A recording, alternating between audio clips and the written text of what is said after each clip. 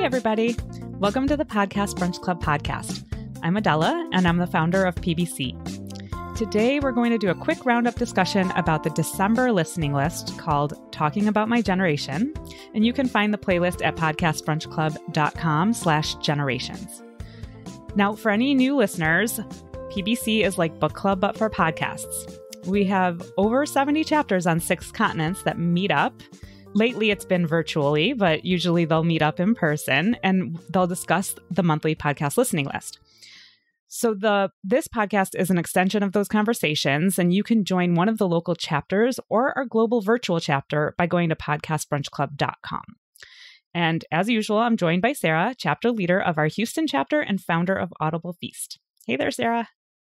Hi everyone. Hi Adela.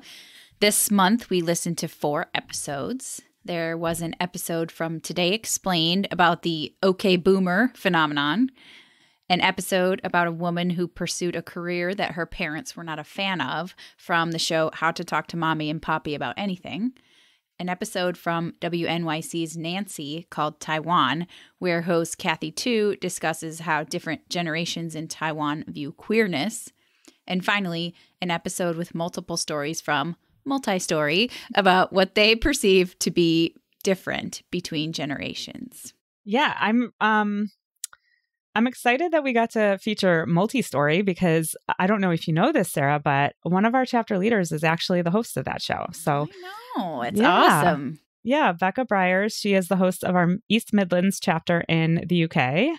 Uh, she's the host of this story of this show. I've listened to it for a long time, and when we were pulling together uh, episodes for for this playlist, um, you know, it was on the short list and got on, you know, made it onto the playlist. So I'm excited that we got to feature her stuff.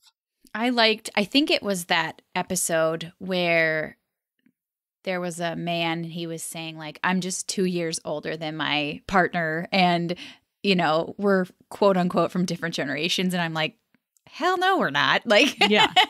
Yeah. you know, there's no. Two years apart. Yeah, it's so funny. You know, I'm in the what are I think they call us uh what do they call us? Like xennials or something. Like I'm in the in between uh, sandwich generation. I'm a 1980 baby. And so um and you know, you and I I was I was listening to our roundup from last month and I was hearing us talk about millennials as we often do on this podcast. Um, and we always say we love you, but we are not you. Um, you and I yeah. are not. We're not but, millennials. No, but then like, but there are so many things that like, especially maybe maybe because I'm in this sandwich generation thing. Um, like there's certainly many ways that I am very millennial and there's so many ways I'm Gen X-ish, you know, like so many like it's it's interesting. Yeah.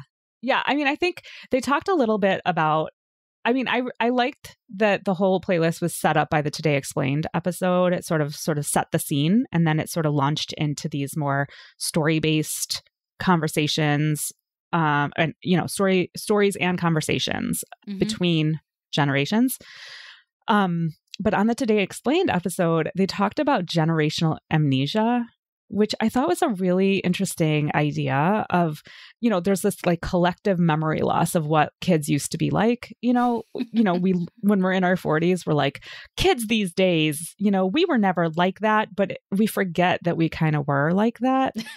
and you know, and there's this amnesia that happens that you know, I think they also talked about it.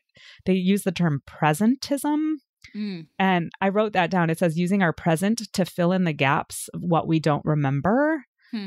So I don't know. I think that we can often be harder on younger generations because we forgot what it was like to be young. Yeah. You know? Yeah. So you know, I I didn't I didn't even know about the OK Boomer thing. So I thought that was oh, really? great. No, like, I mean, I guess I had heard it like here or there, or maybe like on Saturday Night Live or something. Like, uh-huh. I don't know. like, probably people making fun of say, people saying OK Boomer. I don't know. But um, no, I, I kind of missed that moment in pop culture time, I think. And I don't think people say it anymore. So um, I. very quick. I sort of, like, I guess I just didn't even pay attention to it. So, like, So, first of all, I was not a person that would be saying that. And I'm not a person somebody would be saying that to either. So, right. um, I don't know. So I thought actually the just the simple history of like this is how this started and and this is how it kind of picked up and took off. I thought was interesting. And I, I also since that episode was from a year ago, um, it was kind of a funny like look back in time, like a snapshot of like, mm-hmm. oh, this is really popular right now. You know, it was it, mm-hmm. was, just, it was just kind of fun. How everything's such a big deal in the moment, and then yeah. we very quickly forget about it. Yeah, uh-huh. Uh-huh. yeah, and it's just it's interesting to me also as we thought think about you know blame like blame across generations. You know, a lot of part of the OK Boomer meme was about young, you know, generation millennials and gen, gen zers sort of blaming boomers for like the shit show that is what we're living through right now and you know not necessarily the p- pandemic but but the environment and and this mm-hmm. and that right? And then also on the flip side a lot of older generations blame the younger generations for like the breakdown in in society and the breakdown of values and all of these things. And there's a lot of finger pointing. And at the same time, like generations are so arbitrarily like oh designated. Yeah. I mean, who who decides that the cutoff for one generation is 1981 or whatever?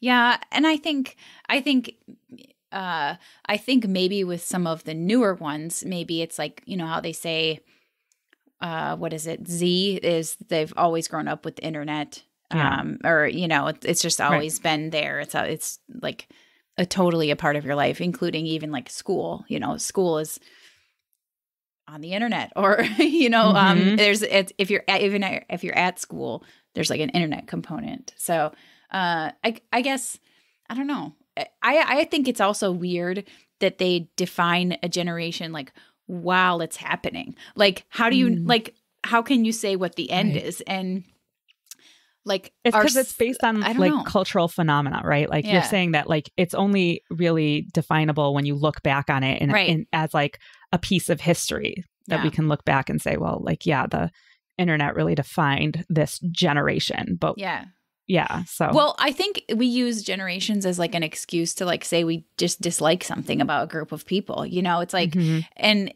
and like when do you hear like respectful things talked about mm-hmm. when you talk about a generation like oh maybe the silent generation sure but like anything beyond that there's com- it's yeah. always coupled with complaints of yeah oh oh gen xers are like so like moody and depressed and like you know whatever yeah. Okay. I mean, it is ageism, right? Like essentially, if, yeah. if, you boil it all down, right, it becomes ageism, and it becomes um, just stereotypes. You know, yeah. just like a whole a whole catalog of stereotypes for, you know, between and among the generations that are not ever true. We know. We know that stereotypes are just not accurate. Yeah. So I want to talk a little bit about the Nancy episode um because Nancy uh you know was was canceled by WNYC mm-hmm. earlier this year and I know it had a huge fan base. Um and so there was a lot of vocal opposition to that. Uh, and when Nancy came out uh, in the beginning, I was not a fan, and um, it's it's it seemed like it would be something so up my alley. Like I, I really gravitate toward that type of storytelling, um, and I think the disconnect for me was sort of a generational thing. Like I felt mm-hmm. like I'm not the target audience for this and I'm having a hard time like um like I don't know, getting into the storytelling style or maybe I don't know, I just felt like everything was too cool for me and mm-hmm. so I stopped listening to it after a while. So I was curious to see whether I would like this episode that I that was on the playlist and I loved it. Yeah. Um, yeah, I just I thought that uh, I you know going back to what you said at the beginning of our recording, I really appreciate that this playlist had conversations in it about mm-hmm. generations. So it was truly talking about my generation. You yeah. know, it wasn't like yeah. it wasn't just like here's about generations. It was like okay, like like how does that influence how we communicate? Oh, it was just I just really thought it was really really well done. It wasn't it was a, a great uh, length. It was like it just hit on a, like some emotional notes but not mm-hmm. too over the top like oh we're trying to make you sob. Um and it was really real. Like I can picture myself in that situation having that conversation. Like I don't know, it's just uh and you know, as I said at the top, it was about the host Kathy Tu talking to her mom about queerness in Taiwan and what what it would be like if she had lived in Taiwan um, for her whole life. Uh, it, it mm-hmm. was just I don't know. What did you think of that episode? Yeah, I really I really liked it. So I was I thought it was a really again so total props to Joe who curated this playlist for us. Um, he did a real like he specifically wanted it to be about the conversations happening between generations. So and he and I think he did a really good job of selecting the right episodes. So um I thought that the Taiwan episode was really good because also it talked about um not just difference in generation but difference in culture mm-hmm. right so she grew up in the united states and um so there's obviously that level of kind of um, struggle with her parents. And similar, I think, to the how to talk to mommy and poppy is the same sort of situation where it's like a generational and a cultural thing. Um, I think the thing that really moved me the most was this. I'm going to play a clip. Um, it's pretty short from Nancy. I actually grabbed it. Um, so let's just listen and then we could talk about it. So, so my parents choose to accept rather than put me out. Yeah. I asked Nangua if her mom reacts the same way to her hair as my mom does to mine. 如果说 we're gay inside, that's okay. Uh-huh. But when we're very, very gay outside, yes. they feel pressure. They say, so everybody would know that you're lesbian and yeah. maybe everybody would know that i'm a parent of lesbian you know so that's yeah. their pressure there's feel there's other people's view everywhere i have this feeling that uh, actually parents are from different world mm-hmm. from with kids so we have to accept that parents has their limitations too. Mm. Like I cannot change change my shape for my parents, but they can maybe they cannot change their shape for me too. So that clip, you know, was from when she was talking to a Taiwanese uh, queer person who she sort of saw as her almost like her doppelganger in in Taiwan. Like this is who I probably would have been. Um, so she wanted to talk to her about her experience of being queer in in Taiwan. And I think what really kind of hit home with me was that last little bit where she was talking about how, you know, as children, we expect our parents to just like love us unconditionally and love us for who we are. And we would never change who we are for our parents. But then we don't sometimes afford the same uh, grace to our parents when you know, when they might ha- struggle with that very thing. You know what I mean? And it just seemed like such a graceful thing that she said. And it really hit home with me, you know? Yeah. Yeah. I think I've thought about this a lot as I've gotten older. And then also when I had kids, it made me think about this a lot. You know, like I don't know how many times I've thought about the, the, the idea that like every no parent is trying to do a bad job like every mm-hmm. parent is doing in the moment what they think is the right thing to do like no one strives to be a bad parent and right. sometimes you don't have the skills or the tools to do the thing that's best for the for the kid and and it is what it is like it's just yeah.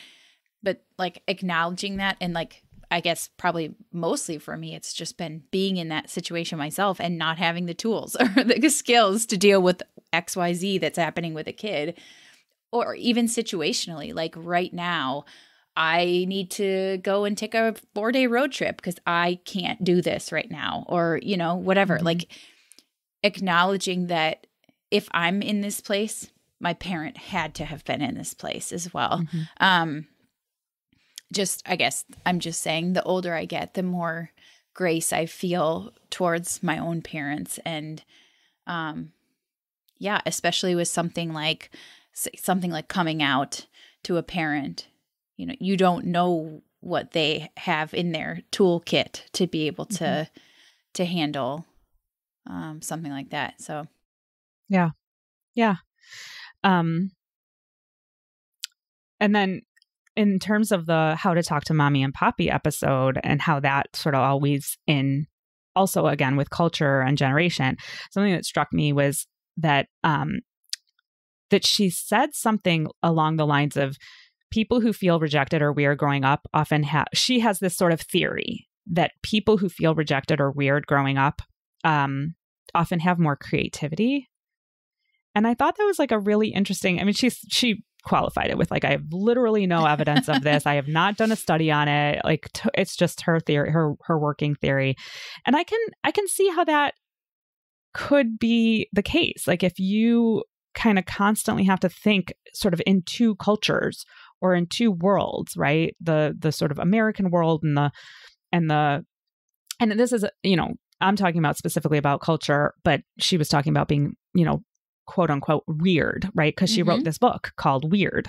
Mm-hmm. Um, I actually included the book, a link to the book on the playlist page. So if you want to go and find that, it's uh, podcastbrunchclub.com slash generations. But, um, but I just, it just struck me as something that was like an interesting theory, you know? I mean, they already say that people, kids who grow up with two languages are oftentimes two things more creative, but also more logical mm-hmm. because they have to create these constructs in their heads for two different languages that are have their own logic to them. Mm-hmm. And so you become able to sort of like flip between two set of rule sets of rules, but they are logical rules, but they're very different. Yeah. And the other thing about that episode that I thought was really interesting that um that she said was that her parents were projecting their own fears onto her. And I feel like that is just so true of like every parent. Yes. You know? yes. Like I, I anything, attest to that. yeah. I mean, any struggles you had growing up, you don't want your parent your children to experience that. And that might be the focus of the way that you raise them, you know? Mm-hmm, mm-hmm. And maybe other things sort of fall by the wayside because you're so singularly focused on this one thing to protect, you know, whether that, you know, I I don't know, for my parents, maybe it was like my dad got laid off a bunch of times and they just wanted me to have like a stable job. And so they really, really hammered home that this idea of, and we talked about this last month with the working playlist, they hammered home that, you know, you have a job and you're grateful you have a job and you don't rock the boat. And, you know, and as a result, I've been in the workforce for 23 years and I've had three whole jobs, like three jobs with no gaps in between, you know? Yeah. Like I had didn't I was never unemployed anything that I had a job waiting for me lined up, you know? Mm-hmm. So, but then again, like it makes me not as, you know, big of a risk taker. And there are things that I wish I could do. And, you know, it, they're all, it's a balancing act. And to really tie it all out, at the end of that episode, I liked that there was a uh, a quick, you know, little uh, conversation with a career coach, um, an interview with Juleyka Lantigua Williams, and it was about you know how can you have these conversations with your parents? So totally tied into the mm-hmm. whole theme of the podcast uh, list. And um i don't know. I just i like that about that show. Like it provides some practical you know it is right? It's called how to talk to mommy and poppy about any- anything. Yep. and so here's how you actually do it not just it's difficult but here's some tips about how to do it so um yeah i thought that was good yeah, and we have Juleyka as a guest on an upcoming, or I don't know if it's going to come out before this episode or after, so I apologize. But she is going to be a guest on the on the podcast, and I I I already recorded it. I talked to her about the show, about what she's done. She's like a absolute powerhouse. Seriously, this lady is like a rock star. Um, and I will also be having a conversation with Becca from Multistory about her podcast as well. But yeah, she has some really interesting takes on it. And she set that podcast up in that way on purpose, where it's like partially a very much she cut herself out of like Juleyka herself cut herself out of the story from the guest and then she sort of wrapped it all up by inviting a an expert onto the show to sort of listen and reflect. And actually I was a guest on that show. So I one of the oh I know episodes. yeah, I was a guest on that show. I talked about my struggles with my dad um, and his political leanings. Mm-hmm. So um, yeah, it's a great show. But let's um let's just take a listen to some audio clips from our community members. So we grabbed these with permission from the conversation at one of the virtual chapter meetings. And as always, if you want to join us at one of the PBC meetings, just go to podcastbrunchclub.com. The virtual chapter link is podcastbrunchclub.com slash virtual dash chapter. Hi. Hi, I'm Laura. I'm from the, the Vancouver chapter.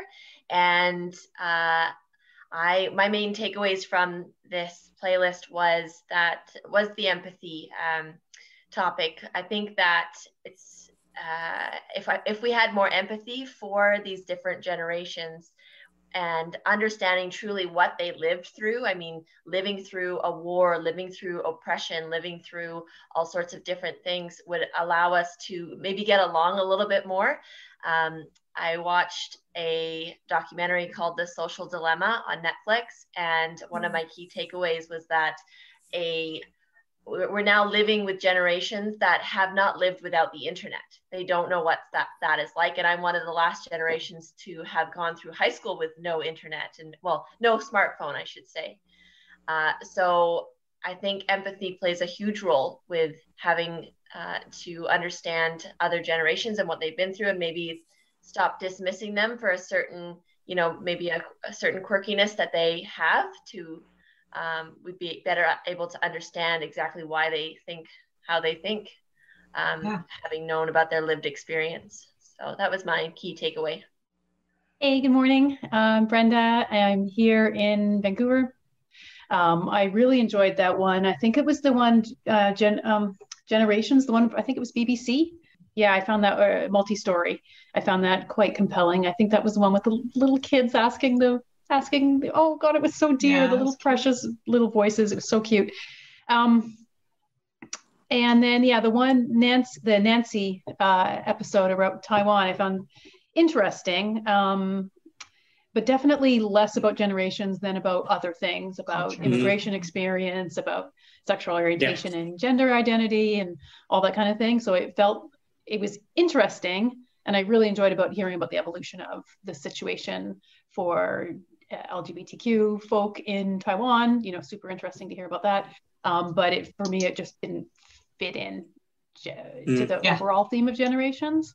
Um, and then i just want to say that as a person of the generation x group I'm very confident um, in the millennials and the Gen Z. Is it who's up upcoming yeah. next? I'm very confident um, in them, and it's also fun being a Gen X person. And th- I don't think this got explored very much in this playlist, but um, those of us who are in Gen X know that we're the ones that get like there's like this whole like boomer millennium millennial war, and the Gen X just like fly through under the radar, ignored as always. yeah. The middle child, literally the middle child uh, of the generation. So it always makes me laugh that nobody's got a nobody's got a problem with us. I'm sure they will eventually have a problem with us when we're old. I'm also in Generation X, but when we're like. D- definitely old. We're not middle aged. I think that's when the problems will arise. it could be that's when our time will come. One of my takeaways from this list was um, the big cultural themes to go along with the generational themes. I feel like uh, that really resonated with uh, the idea of talking to parents that um, are older but also come from a different culture, and so the differences may be even more uh, um, spread apart. Um, uh, also, I would say one of the things I got from this was a sense of empathy for, like I guess as I'm as I'm getting older and I'm not the young kid anymore. Uh, I feel like I understand how the young how some aspects of the world are changing, and I'm not part of it.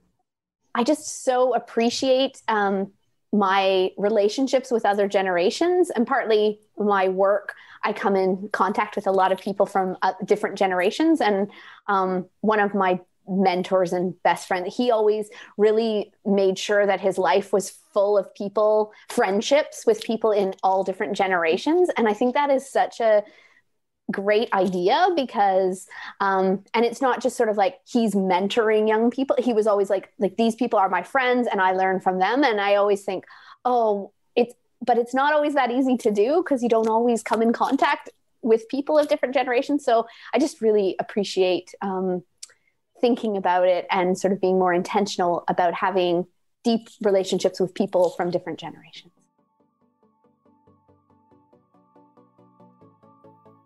So, real quick, I just want to take a second to talk to anyone out there who's even thinking about starting a podcast.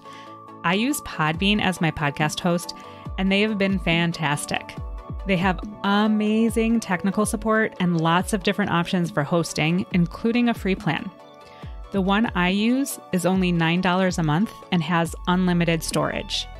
They also have an ad marketplace that any Podbean show can join, and it helps you find advertisers for your show. To get a free month of hosting, go to podbean.com slash PBC. But even if you don't host your show on Podbean, but you want to use their ad marketplace to place ads in other people's shows, you can sign up at sponsorship.podbean.com slash PBC to get a $100 credit toward podcast advertising. Okay, so now we're going to diverge and talk about our latest podcast finds. Sara, what do you want to share with us this month? I have two podcast recommendations this month. One is um, light and one is not. And the one that is not is The Anxious Achiever, and that is from the Harvard Business Review. Uh, I think I found this show from listening to other HBR podcasts. There's one called uh, Women at Work that I also really like. Mm-hmm. The Anxious Achiever is about how to achieve things professionally or otherwise while having anxiety, being an anxious person, um, which you know, I I have it in spikes. I would say I'm more of a like I get really anxious about certain topics. I don't really have like a general anxiety, but I think a lot of people could benefit from this podcast because it's not just about work, it's just about functioning. um, and there were a couple of really great episodes. Um, the two that I would recommend that are recent are an interview with John Moe, who had the hilarious World of Depression, which was canceled. Mm. And the episode is like, hey, how are you coping with your show being canceled? And, you know, how are you doing now? And it was yeah. really, really great. And then there was one about um, anxiety, depression, and being a working mom in the pandemic. So, you know, just a fun trifecta of pandemic, anxiety, depression. but, uh, you know, again, it's uh, similar how to how we were talking about how to talk to mommy and poppy. It, it gives like tips like here's what you can do you know and it's mm-hmm. so to me that's not depressing that's like hopeful and that's yeah. like practical. Okay, here's like a yeah. So I really like that one, and the, it's pretty bite size. It's maybe thirty minutes episode, so that's a, a length I really like. Mm-hmm. Um, and then on the lighter side, uh, there's a, a show called Twenty Twenty. Uh, it's it has a if you can't find it right away, actually type the words in 2020, uh, a pop culture podcast, and it's about the year 2000 so that's totally my jam. As i already told you earlier i'm an 80s baby an 80 baby um, so that is totally my my era right? I was 20 um, so my favorite episode that they had was about the great and amazing craig david. Do you remember him? No. Oh gosh. Oh you, well you'll probably remember the songs if you go back but he had a maybe one or two hits. and okay. he was supposed to be this like, you know, hot thing from the UK and, you know, like the the hmm. next like solo artist like but he had a very boy bandish sound and I don't it was a uh, maybe I'll get crucified for saying he sound like a boy band, but um anyway, it was like they I mean they sort of like mock the stuff from year 2000, but it's also okay. like very enjoyable. Like they talk a lot. There's a lot of Britney Spears discussion. You know, it's it's good stuff. So it's a limited series. I don't know that they're gonna do another anymore. But it was just like a set of episodes, and I heard about about it from the Guardian. Um, that's a that's a podcast uh source that I enjoy a lot is getting Yeah. stuff from the Guardian because they will pull things that are totally random and independent and it's not Oh, always cool. stuff from the UK. Um anyway, I uh I enjoy the Guardian's recommendations quite a bit. So Cool. what are you what have you been into lately? So I'm gonna actually recommend three, which is not usually what I do, but I'm I, I wasn't gonna recommend this one, but because I already recommended it, I'm pretty sure in the past, but because of this particular playlist theme, I really want to call it out again, and it's on the bonus list. It's a series called "We Share the Same Sky," and it's it's a series of about seven episodes, and it's seriously the most beautiful story I've heard, I think, ever. Honestly, ever.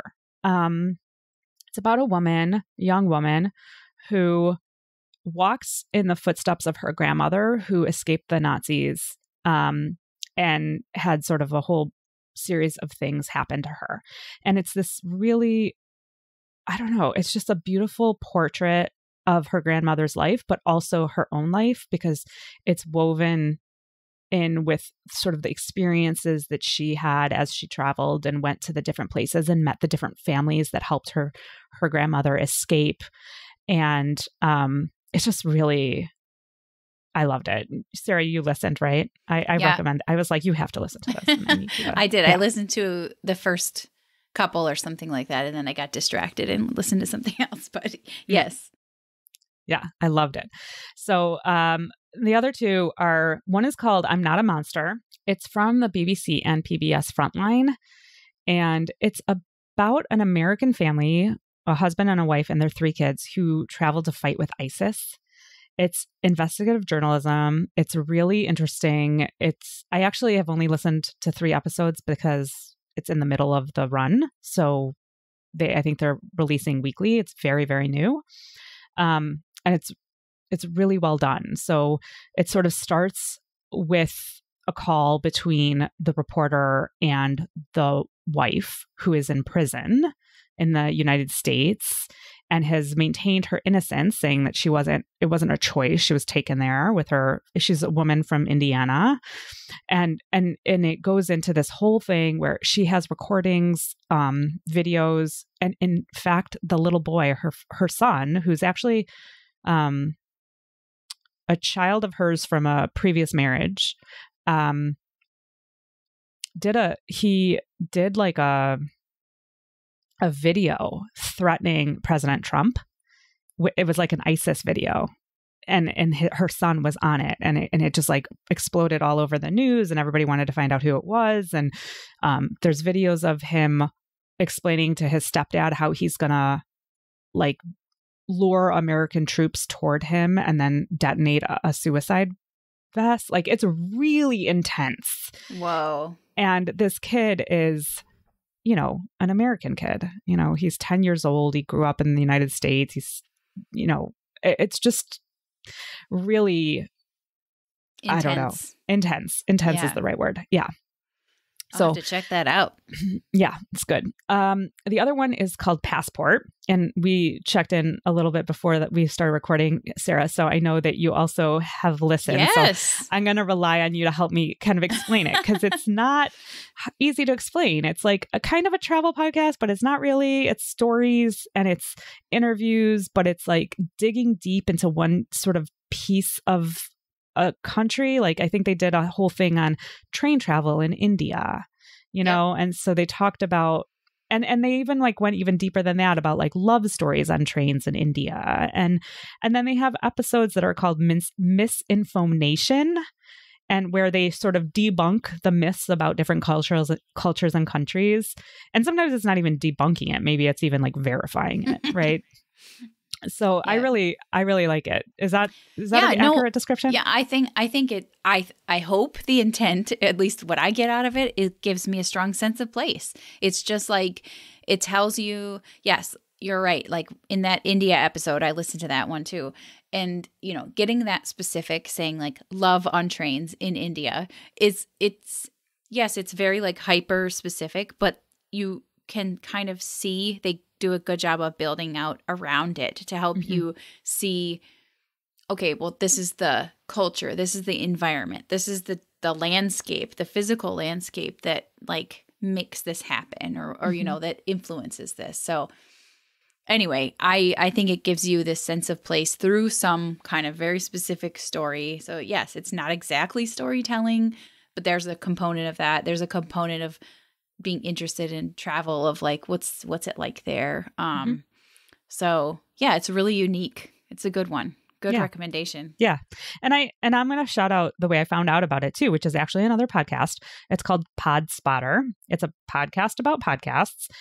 And it's meta um, like us. Very very meta like our us, yes. Uh and he he interviews different podcast hosts and and he he definitely um it's not just always the mainstream, you know. Uh it's a little bit more indie at least mm-hmm. so far. I don't know if he's going to get into mainstream. I don't know. Mm-hmm. I mean, he he interviewed the guy who uh oh gosh, I forgot his name. But um the one who did Dead Eyes, mm-hmm. which I I think I've recommended in the past. Yeah. Which is yeah, I mean, it's a, I love that that podcast. He's he's done ones with people who um you know have audio fiction podcasts and stuff like that. So um it's it's a nice way to to uh find new podcasts. So a shout out to Podspotter. And now we'd like to share a few podcast recommendations from the PBC community. Since I have a wider audience, I will proselytize on my favorite Chicago local um, podcast, which is Nerdette. Um, they've done amazing introverts guide to like surviving the pandemic, which has been helpful for me, who has been as an extrovert, it's been very challenging. Um, and they actually in October did an interview with the author of the millennial burnout generation. So it kind of could that um that interview could be a good tie into this playlist if you are um, interested in checking out a new podcast but want a good entry point into something we've been discussing today. I happened to listen to this one a, a, while ago, but it's the Tim Ferriss show, and it's the one where he interviews Hugh Jackman. It's episode four four four, and it is it's a, a, about an hour and a half, but they cover so much, and I was really blown away by Hugh Jackman just in how. Uh, how he lives his life and the failures and overcoming he had, not just in his uh, acting career, but also in his personal life and they do cover so many topics, mostly mostly regarding health. Uh, but he's just such a well-rounded individual, and I was, uh, if I didn't know he, if I didn't know he was an actor, I'd be like, oh, he's some sort of health professional. But um, I just, it was one of those ones, one of those podcasts where you really want a notepad nearby because the the facts just come, the information just comes so quickly at you. But he's just really so wonderful to listen to, and uh, I really like him as an actor. So yeah, caught my attention.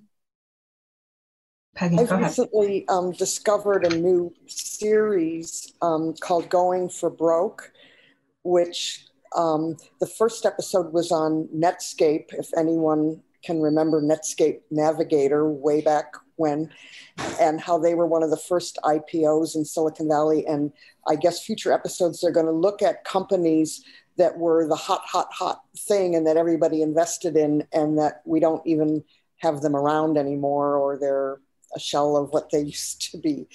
And that's kind of an interesting series to follow. It kind of the build up to the the boom and then the bust. I just want to let everybody know that if you have thoughts or podcast recommendations that you'd like to share, you can always send us an audio clip to podcast at podcastbrunchclub.com. We love, love, love featuring your voices on this podcast. This is not about Sara and I, this is about you guys. So we want to feature your voices. So send us audio clips. And before we wrap up, you know, we're also always looking for people to help curate playlists. Um, if you're interested, please reach out to us for some guidelines. We're happy to help with the process. We'll be sending out the January playlist on January 1st via email, and we'll also post it on the PBC website. You can find more ways to connect at podcastbrunchclub.com. Happy listening. Thank you for listening and being a part of the Podcast Brunch Club community. Do you have any thoughts on our discussion this month? Send a message or voice memo to podcast at podcastbrunchclub.com. PBC is a passion project, and we rely on support from our global community to continue bringing people together in person and online. So if you feel like PBC has contributed to your life in any way, please consider becoming a patron or making a one-time donation. Go to podcastbrunchclub.com slash support for more information. If you're interested in becoming an organizational partner, go to podcastbrunchclub.com slash sponsors. A quick thanks to our early partners, Podbean. For one free month of podcast hosting, go to podbean.com slash pbc. Podchaser, the IMDb of podcasts. Listen Notes, a podcast search engine. Critical Frequency, the podcast network for everyone else. The Venn Media, a weekly newsletter for curious minds. And Lantigua Williams and Company, podcast network, telling stories in the seams of society. Finally, some credits for this episode. Katie D. Fiore is our audio editor. Music is from Chad Crouch and Misael Ghana, downloaded from Free Music Archive. I'm Adela, founder of Podcast Brunch Club, and as always, thanks and happy listening.